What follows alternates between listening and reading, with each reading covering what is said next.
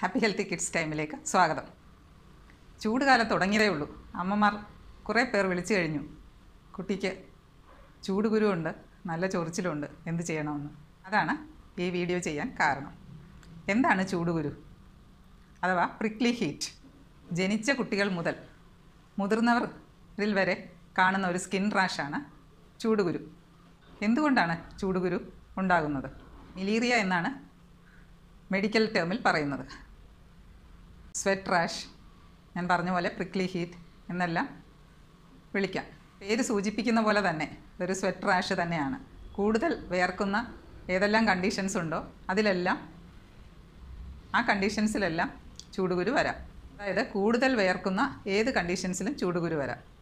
ചൂട് കാലാവസ്ഥയുള്ള സ്ഥലം തണുപ്പുള്ള സ്ഥലത്തുനിന്ന് പെട്ടെന്ന് ചൂട് കാലാവസ്ഥയുള്ള സ്ഥലത്തേക്ക് വരുന്ന കുട്ടികൾ ചൂടും ഹ്യൂമിഡിറ്റിയും കൂടുതലുള്ള അറ്റ്മോസ്ഫിയർ പനി വന്ന് കൂടുതൽ വേർക്കുന്ന കുട്ടികൾ ചില മരുന്നുകൾ ബെഡ് റിഡൻ ആയിട്ടുള്ള കുട്ടികളോ മുതിർന്നവരോ കൂടുതൽ ടൈറ്റായിട്ടുള്ള വസ്ത്രങ്ങൾ ധരിക്കുന്നവർ കാറ്റ് കയറാത്ത നൈലോൺ തുടങ്ങിയ സിന്തറ്റിക് ഡ്രസ്സുകൾ ഉപയോഗിക്കുന്ന കുട്ടികൾ ഇവർക്കെല്ലാവർക്കും വേർപ്പ് കൂടുതലായിരിക്കുമല്ലോ.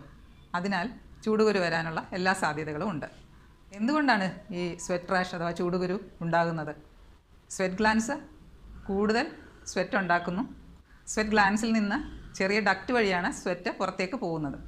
ആ അവിടെ ഒരു ബ്ലോക്ക് ഉണ്ടാകുന്നത് കൊണ്ട് സ്വെറ്റ് പതുക്കെ സ്കിന്നിന് ഇടയിലേക്ക് പോകുന്നത് കൊണ്ടാണ് ഇങ്ങനെ ഉണ്ടാകുന്നത്. അപ്പോൾ സ്കിന്നിൽ ഏതൊക്കെ ലെയറിൽ വരുന്നതനുസരിച്ച് മൂന്നോ നാലോ തരത്തിൽ സ്കിൻ റാഷുകളുണ്ട് അതിനെപ്പറ്റി ഞാൻ പറയുന്നില്ല. എന്താണെങ്കിലും ചികിത്സ ഒന്ന് തന്നെയാണ്. ഞാൻ നേരത്തെ പറഞ്ഞ പോലെ തന്നെ ജനിച്ച കുട്ടികൾ തൊട്ട് കൂടുതലും കുട്ടികൾക്കാണ് വരുന്നത്. മുതിർന്നവർക്കും ഉണ്ടാകാറുണ്ടല്ലോ.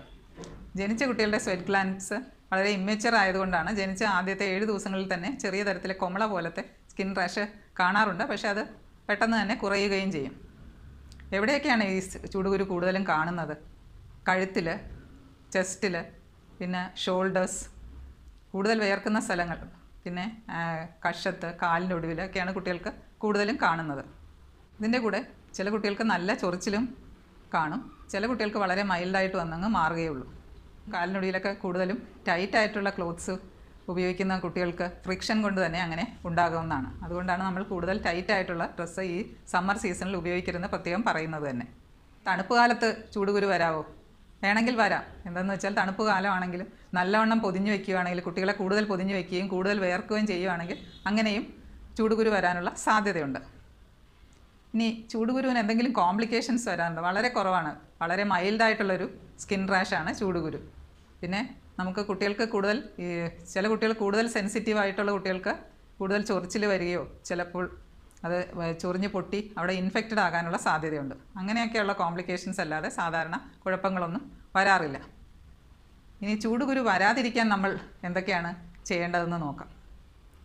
ഈ പറഞ്ഞ പോലെ വേർക്കുന്നതാണല്ലോ ഒരു പ്രധാന കാരണം. അപ്പോൾ കഴിയുന്നതും വേർപ്പ് അധികം ഉണ്ടാകാതെ നോക്കുക. പറയുന്ന പോലെ എളുപ്പമല്ലെങ്കിലും നല്ലവണ്ണം ഫാൻ ഇടുക എ സി ഉള്ള സ്ഥലമാണെങ്കിൽ എ സി ഇട്ട് കുറച്ച് സമയം കിടത്താം. എന്തായാലും നല്ലവണ്ണം കാറ്റ് കയറുന്ന വെൽ വെന്റിലേറ്റഡ് റൂമിൽ കാറ്റ് കിട്ടുന്ന സ്ഥലത്ത് കിടത്തുക എന്നുള്ളതാണ് ഏറ്റവും പ്രധാനം. പിന്നെ കഴിയുന്നതും കുഞ്ഞിന് ആവശ്യമില്ലെങ്കിൽ ഒരുപാട് പല ലെയറുള്ള ഉടുപ്പുകളോ ഒന്നാമത് ഒരു അടിയിലൊരു പെറ്റിക്കോട്ടോ ബനിയനോ എന്തിട്ട് അതിന്റെ പുറത്ത് പിന്നെ ഷർട്ടോ ഉടുപ്പോ ഇടാതിരിക്കുക. ഒരു സിംഗിൾ ലെയറുള്ള നേരിയ കോട്ടൺ ഡ്രസ്സ് ലൂസായിട്ടുള്ളത് ഞാൻ നേരത്തെ പറഞ്ഞല്ലോ ടൈറ്റ് ആയിട്ടുള്ളതും കൂടുതൽ ഫ്രിക്ഷന് സാധ്യതയാണ് വേർപ്പും കൂടുതലായിരിക്കും. അപ്പോൾ വളരെ സിമ്പിൾ കാര്യങ്ങളാണ് വരാതിരിക്കാൻ നമുക്ക് ചെയ്യാൻ പറ്റുന്നത്. ഡ്രസ്സിന്റെ കാര്യത്തിൽ പ്രത്യേകം ഇനി തീരെ ചെറിയ കുട്ടികളാണെങ്കിൽ ടോപ്പ് ഒന്നും ഇടണമെന്ന് തന്നെ ഇല്ലേ ചൂട് കാലത്ത് നല്ലവണ്ണം കാറ്റ് കിട്ടട്ടെ ചൂടുകുരു വരാതിരിക്കട്ടെ. ഇനി വന്നു കഴിഞ്ഞാൽ എന്ത് ചികിത്സയാണ് നമ്മൾ ചെയ്യേണ്ടത്?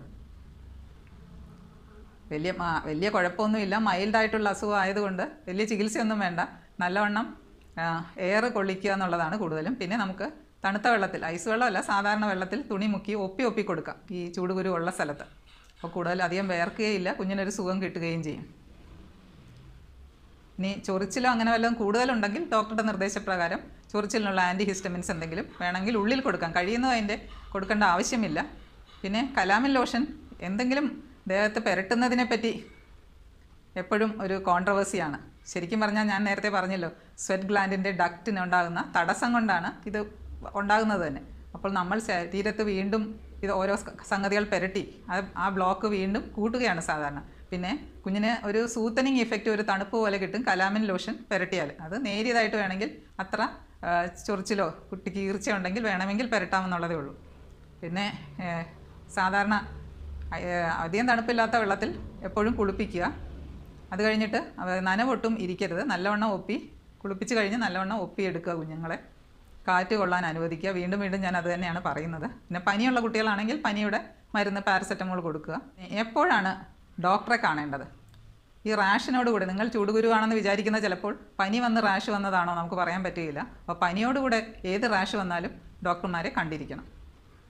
പിന്നെ ഇനി ഈ ഞാൻ പറഞ്ഞല്ലോ മൂന്ന് നാല് തരത്തിലുള്ള ചൂടുകുരു ഉണ്ടെന്ന്. അതിൽ ഈ അതിനോട് കൂടെ തന്നെ പഴുപ്പ് മഞ്ഞ നിറത്തിൽ കൊമള പോലെ വരുവാണെങ്കിൽ അത് ഇൻഫെക്റ്റഡ് ആയെന്നാണ് നമ്മൾ വിചാരിക്കേണ്ടത്. അപ്പോൾ അങ്ങനെയാണെങ്കിൽ ചിലപ്പോൾ ആന്റിബയോട്ടിക്സ് വേണമെങ്കിൽ ചിലപ്പോൾ കൊടുക്കേണ്ടി വരും. എന്തായാലും അങ്ങനെയുള്ളപ്പോൾ ഡോക്ടറെ കാണിക്കേണ്ടതാണ്. പിന്നെ നമ്മൾ സാധാരണഗതിയിൽ നമ്മൾ ഈ പറഞ്ഞ പോലെ ചെയ്യുമ്പോൾ മൂന്നോ നാലോ ദിവസം കൊണ്ട് തന്നെ ചൂടുകുരു മാറിയിരിക്കും. എന്നിട്ടും മാറുന്നില്ല. നല്ല ചൊറിച്ചിലുണ്ട്.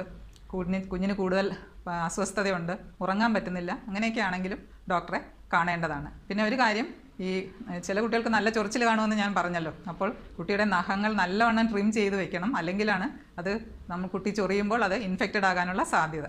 അപ്പോൾ ഇത്രയും കാര്യങ്ങൾ ശ്രദ്ധിച്ചാൽ ചൂടുകുരു വലിയ കുഴപ്പമൊക്കെ ഒന്നും ഉണ്ടാക്കുന്ന അസുഖമല്ല.